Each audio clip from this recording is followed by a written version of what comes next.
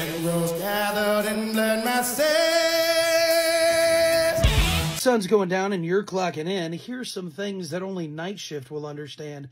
Feliz Navidad, my nocturnal brothers and sisters. Is the season for self-reflection, where our thoughts go just as dark as our coffee. We're the people that we do all the clocking in and out for are finally home, but we're not home to be around the people that we finally want to be around. It is a rough time of year to be a night shift mom or dad, but as T-Pain has just showed us, it's not so much where you work, but the people that you work with that make the job worth going to. T-Pain covering Sabbath is pretty epic, but on night shift we're a pretty eclectic group, so Sabbath is cool, but we're going to get a little weird.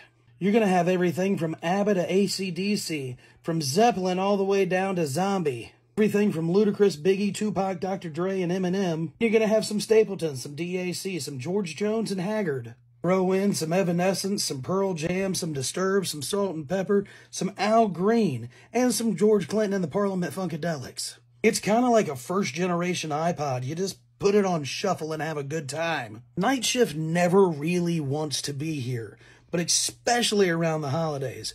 We don't want to be here. So everything that we can do to make this job a little bit bearable, we're going to do. We're going to have a potluck dinner tonight and we're going to hopefully do just enough work to where we don't lose our jobs. And then tomorrow, when day shift finally drags themselves out of bed and decides to show up, we'll go home and celebrate Christmas ourselves. There is nothing worse than having to be the dad or mom that has to have the kids wait for Santa to come until you get there. But it's the sacrifices we make for the people that we love. We truly are the people on nights who keep this great nation running.